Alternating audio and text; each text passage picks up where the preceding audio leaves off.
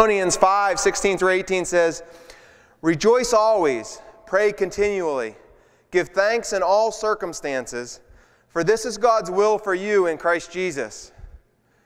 There were times over this last couple years that my family were not able to keep these commands.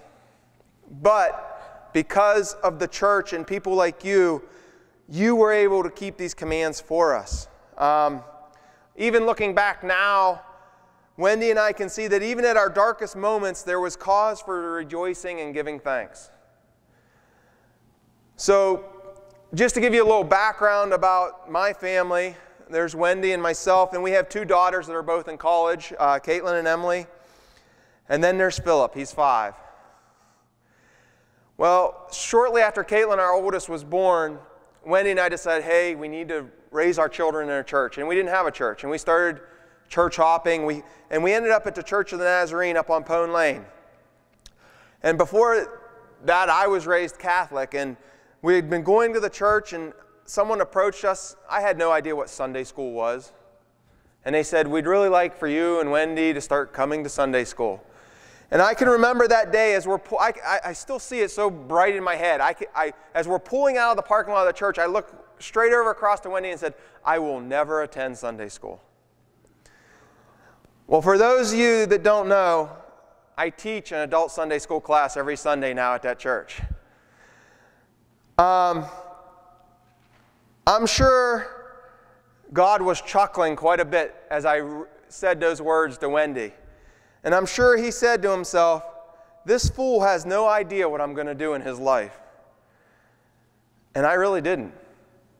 And as you will soon see here, this theme is a recurring thing in my life. God gets a lot of laughs out of my life. I, I, I truly think that. So now we, we, we fast forward to spring of 2015, and Caitlin was getting ready to be a senior, and Emily was going to be a sophomore in high school. They were both driving. And Wendy and I were talking, and we're like, man, here in another year, we're going to have all this free time. We're going to have, we're going to be empty nesters. And Wendy even jokingly said, she said, you know, we should have had another kid a little later in life so we wouldn't have empty nest syndrome all at once. Again, I think you've all heard it said if you want to see God laugh, tell him your plans. Here, Wendy and I are planning for all this free time. And I'm sure, again, God was, had a little chuckle to himself. So, in August of 2015, Wendy's nephew passed away from a drug overdose. And he was Philip's biological father. Philip's biological mother was in ICU from the same thing, headed to a, to a rehab. And Wendy's mother, who I love dearly and is sitting here, but I think as crazy as can be sometimes, she was, she's 70 some years old and she was going to take Philip in while trying to work and take care of her husband who had Parkinson's disease. God at that moment told me that Wendy and I had to take Philip in. Wendy wasn't so sure. and I can remember we're in Wendy's mom's driveway, and as I'm loading Philip's stuff into the back of the truck, our pastor's there, and Wendy's got tears in her eyes. I don't want to do this. And I give, I give Wendy credit because we all know the mother does all the work, right? but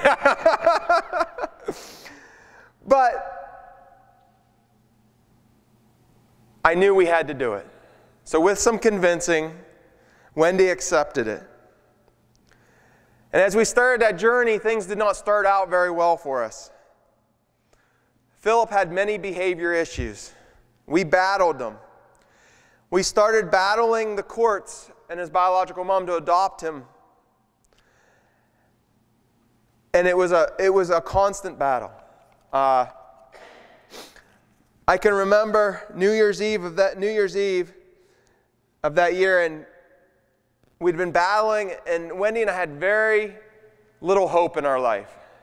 It seemed like all we were doing was battling. And we weren't even sure if we were doing the right thing. It's at that time that Wendy and I both turned everything with Philip's life over to God. We knew God had a plan, and if it was for Philip to be with us, great. But if it was for Philip to be back with his biological mother, then so it should be, if that's God's plan. Romans 12:2 says, "Do not conform to the pattern of this world, but be transformed by the renewing of your mind. Then you will be able to test and approve what God's will is, his good, pleasing, and perfect will." See, I think we so often forget that God has a plan for each and every one of us sitting here. And that plan is perfect. So now, we get into October of 2016. Wendy and I will face a new set of challenges. We spent the last year battling to get full custody of Philip. Caitlin was in college, and at home it was just Wendy, myself, Philip, and Emily. Wendy had just had back surgery, and she was not allowed to do anything. So, no big deal. When Emily and I are at home, we can, we can pick up the slack. Not a problem. All of a sudden, I come down. I don't even know what it was, if it was a flu or what, but I could, I could barely move. I was so sick.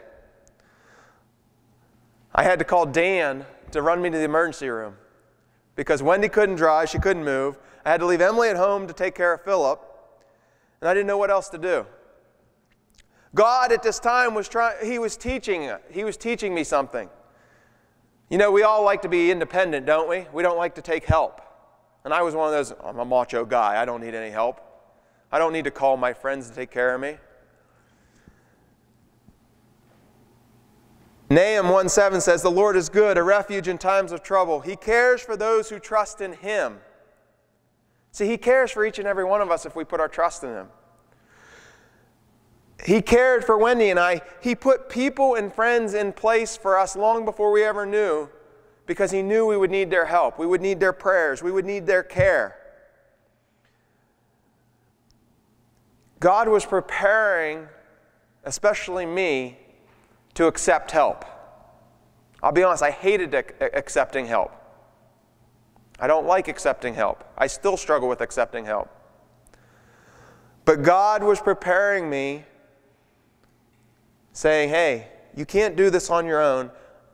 I will take care of you. I will provide the help you need. So now it's New Year's Eve 2016. Philip's behavior issues are practically gone. His mom had given up rights. We were set to fully adopt, adopt him in, 20, in March of 2017. Wendy and I felt like we'd made it through a grueling 16 month battle. We had both grown spiritually. We thought things were good, and we were ready to get on with the new year. And we were like, we had so much hope going into 2017. What we didn't realize is everything we'd gone through the battles, the sicknesses God was just using all of that to prepare us for a much larger battle. What we um, we don't understand is when we're going through something, what do we do? We complain, don't we? Why am I going through this? Why do I have to put up with this? What we don't realize is God is just using what we go through to prepare us. He's making us stronger, He's making us spiritually stronger so that we rely on Him. It's sometimes painful and we don't like it. None of us like going through battles. But what God does through our battles, He prepares us and He's using it for His good. So, February 3rd of 2017, Philip's going in to have his tonsils removed. No big deal, right? We're joking, we're, we're thinking it's going to be quick. One week later, later, on February 10th, Philip's receiving his first round of chemo. It wasn't his tonsils, he had a tumor behind his tonsils. He was diagnosed with high risk, stage 4 neuroblastoma cancer.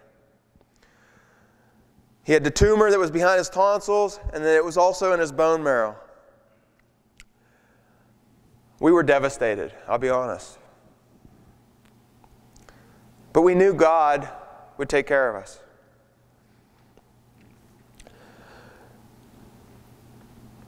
We watched and seen Philip go through procedures and take drugs and do things that would make adults, us adults, crumble. And Philip was going in for his second or third round of chemo.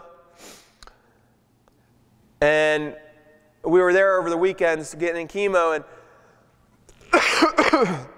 he had a port in his chest. And it was early Monday morning. I had spent the night at the hospital with Wendy, and I was going to go right to work from the hospital that morning. And, and it was like they always come in. I don't know why they do it, but they, they wake you up at 4 a.m. for blood draws. so they come in at 4 a.m. to do Philip's blood draw. And I'm on the couch, and Wendy's in bed with Philip, and I, and I hear the commotion. And as I'm listening, I start hearing that they can't get blood return out of his port. And I already knew so short in this journey that what that meant. That meant them removing the needle from his chest, reinserting the needle to get the port to work again. And at this time, it, this was all very traumatic for Philip. And as I sat there on the couch laying, and Philip is screaming, I was pleading with God. I was asking God, just let his port start working. That's the only thing I was asking for. I just asked, please let blood return from his port so they don't have to change it. And if you don't know, the port, they have this huge dressing over it. And I think that's the worst part. They have to peel all this dressing off of Philip, and he had very sensitive skin. And he's screaming, and I'm, I'm just pleading with God. Just let blood come out of his port. Just let them get the blood draw. Let it start working. Well, that God's answer that morning was no. So they had to go through the whole process of changing out the needle and redressing and putting the port back on. And so they got that done. They got the blood draw they needed. And so later that morning, I was headed back to work. I had to drive from Philadelphia back to Franklin to go to work. And as I'm driving up Interstate 79, I was angry. I was so angry at God. I was struggling. I, I, I was struggling and I was, I was telling God, I was saying to God, you know, God, I just asked for one little thing. I just wanted you to let blood come out through his port. Why couldn't you give that to us? We've been through so much. And I was angry and I was just struggling and and I was listening to K-Love on the radio. As I'm as I, and, I, and people that were passing me on 79 probably thought I was crazy because I'm speaking out loud and there's no one else in the car. And I'm speaking to God. And if you don't listen to Christian music while you're in your car, I suggest you do. Because God will use it to reach you. And as I'm, as I'm basically arguing with God in my car and struggling with being angry, a song comes on the radio. And it's the MercyMe song, Even If. And this is when God really spoke to me. He said, and, and what he said to me, he says, Hey, dummy, I have it all under control. And this is when I relinquished the whole cancer thing with Philip over to God. And God used these lyrics to put it all into perspective for me. The lyrics of that song, they say, Sometimes you win some, sometimes you lose some. And right now, right now, I'm losing bad. I've stood on this stage night after night, reminding the broken it'll be all right. But now, oh, now, I just can't. I know you're able and I know you can save through the fire with your mighty hand, but even if you don't, my hope is in you alone. They say it only takes a little faith to move a mountain. Well, good thing, a little faith is all I have right now. But God, when you choose to leave mountains unmovable, oh, give me the strength to be able to sing, It is well with my soul. At that moment, anyone in here watch NCIS? You've heard of the Gibbs slap, right? In the back of the head? That's what God did at that moment. He gave me the slap in the back of the head and said, Hey, I have this. Matthew 6 8 says, For your Father knows what you need before you ask Him. God knew what I needed as I traveled back from the hospital that morning on 70. He knew I needed that song. And as we've gone through this journey, God has proven time and time again He knew what I needed before I ever asked for it. It's at this point that we really start to accept that God's plan is perfect. And at this point, I accepted the fact that my prayer would always be that God heal Philip. Because every one of us sitting here knows that all it would take is God to take his fingernail and touch Philip on top of the head and say he's healed. But I also know that if God did not heal Philip, that Philip would go to heaven. And that I would see him again someday and he'd be totally healed. Remember, God's plan's perfect. So now we get through five rounds of chemo, and it's time for Philip to go through scans. And Wendy, are, Wendy and I are, are excited. We're expecting good results. And we're sitting there in the waiting room, and, and here come Philip's two doctors, and we're like, uh oh, this can't be good. How would the doctors be coming to seek us out already? Well, it wasn't good news. They told us the chemo hadn't done a thing. Philip actually had more cancer spots in his body than before we started the chemo. They told us the plan now is just to extend Philip's life. That he probably would not reach adulthood. The doctors decided to put Philip on a uh, chimeric antibody treatment. This treatment involved Philip being in ICU for a week at a time every third week. The drug that he gave, that they would give Philip, would attack the nerve ending in his body. It would cause him great pain. He'd be on a morphine drip for the whole week. So we go into the first round of the treatment not knowing what to expect. By the second hour of the treatment, Philip is screaming because he's in so much pain. He says his whole body hurts. We don't know what to do. I'm bouncing, I'm holding Philip. He's hooked up to IVs and lines everywhere, and I'm bouncing him. And I said, Philip, do you want to pray? He says, Yes. As I begin to pray, within two minutes, Philip is calm.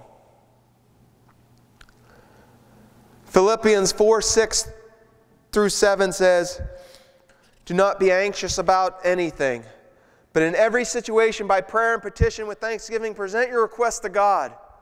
And the peace of God, which transcends all understanding, will guard your hearts and your minds in Christ. I've seen God use prayer to give Philip, myself, and Wendy peace that passes all understanding. If you struggle with peace in your life, I would suggest today you examine your prayer life. You can have peace in any situation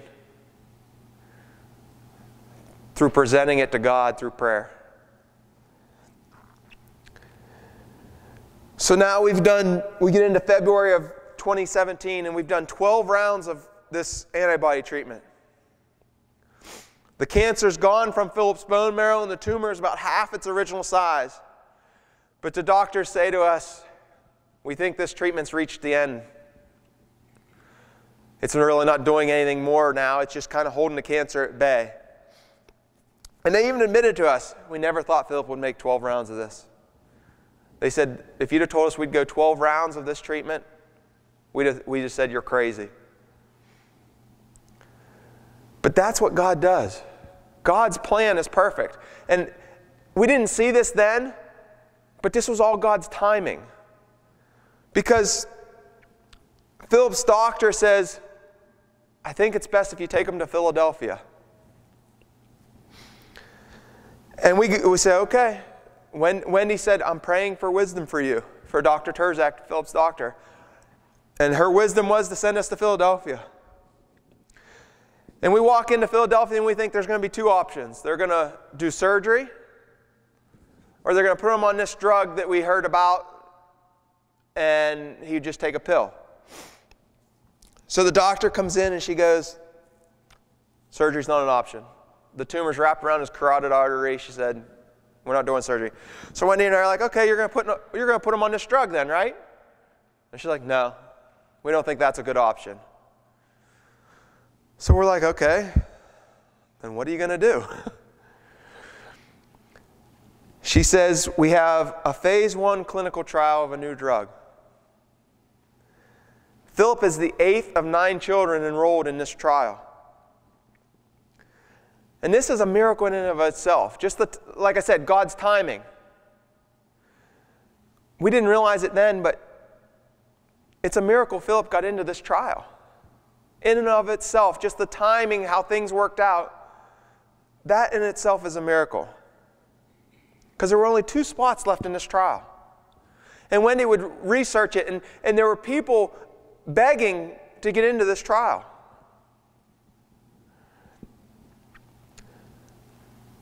We went from this chimeric treatment where we were in ICU for a week at a time and Philip was in pain. Philip takes six pills in the morning, every morning. The only side effect of the drug is he has an increase in appetite. I have a five year old who eats like a 16 year old. He likes to out eat me.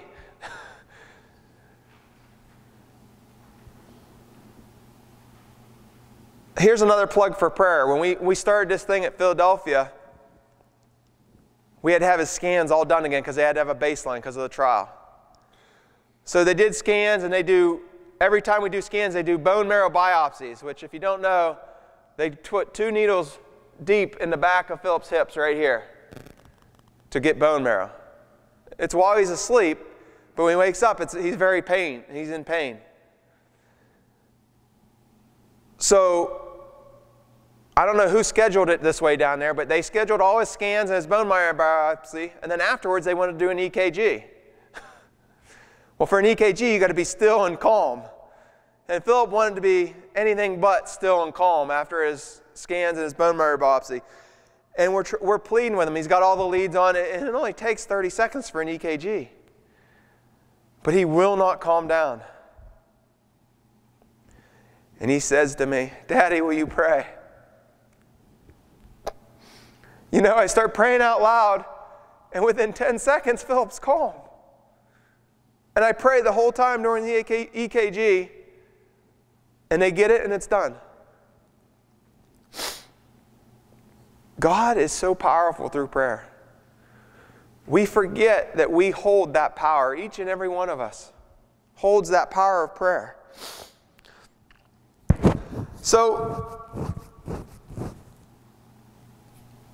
Philip's been on this treatment now for a little over a year. And as we've talked about, his cancer's gone. The last set of scans we just did here early April was the first time the radiologist who reads the scans would say, This is a 100% normal scan.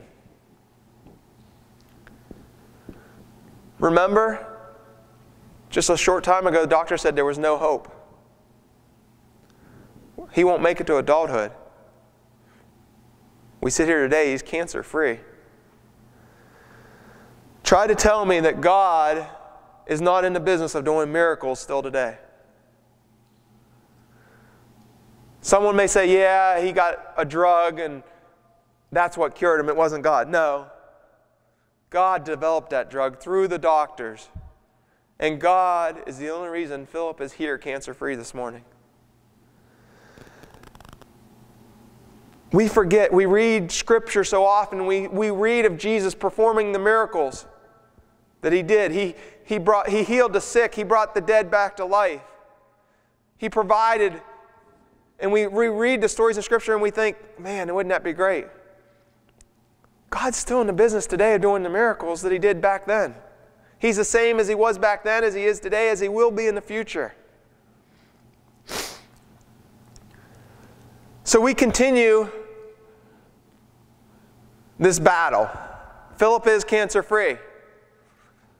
I think the relapse rate is 50%.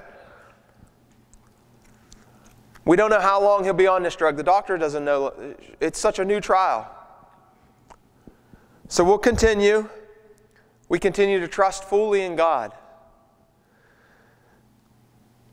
But here, God's plan is perfect. You've heard me say that over and over again. I cannot express to you how much my family has grown spiritually over the last couple years. We've been truly blessed this entire journey. And you're going to think I'm crazy, but cancer has been a blessing. Because there is no way without cancer I'd be standing here today speaking to you. There's no way that I could have grown spiritually the way I have grown. There's no way my wife Wendy could grow, have grown spiritually the way she's grown. Most of you don't know Wendy. Wendy is not a very talkative person. I always used to tease her she was not social. I used to be the social one.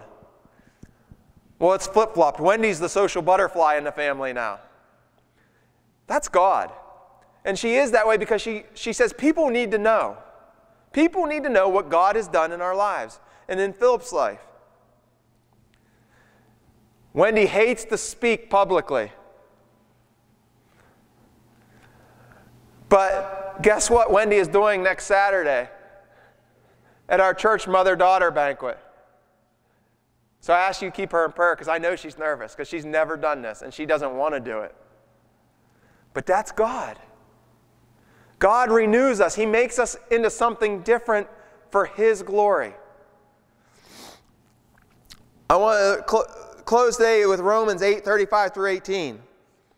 Who shall separate us from the love of Christ? Shall trouble or hardship or persecution or famine, nakedness or danger or sword? As is written, for your sake we face death all day long. We are considered as sheep to be slaughtered. No, in all of these things we are more than conquerors through him who loved us. For I am convinced that neither death nor life, neither angels nor demons, neither the present nor the future nor any powers, neither height nor depth nor anything else in all creation will be able to separate us from the love of God that is in Christ Jesus our Lord. See, we read this scripture, the only thing that can separate us from the love of God is ourselves. We are the only ones that can keep us from the love of God. We need to realize that no matter what we face, and if we're honest with ourselves, everyone sitting in this room is battling something. Every single one of us is battling something. No matter what we're facing, if we relinquish the control and turn every situation by prayer and petition over to God, we don't even need to fight the battle. What's that scripture? What I just read, what's it say? It says, In all these things we are more than conquerors through him who loved us. See, He will fight the battle for us. See, it's not about us and what we're going through. See, we like to make it that way, don't we? When we're going through something, we like to make it all about us. We all, we, we like to throw the pity party for ourselves. Instead of throwing the pity party for ourselves, we need to turn it over to God and figure out how He wants to use us through that situation. See, our time here on earth is so short, isn't it? It's extremely short compared to the eternity that God guarantees us. Why would we want to waste the short time we have here making it about us? Let's make it about God and the eternity that He has for us. Because in this eternity, there's no worry, there's no battles, there's only joy and peace resting in the, pre, in the presence of Jesus Christ. So I challenge you, whatever you're battling, to turn it over to God and let Him use it for His glory today. Because that's what He's done with cancer in our lives. God has done some amazing things and transformed my family in ways I never thought possible. And I praise Him today for that. And I thank Him today for what He's put us through, what He's gotten us through, and how He's grown us. To Him is all the glory this morning. Thank you.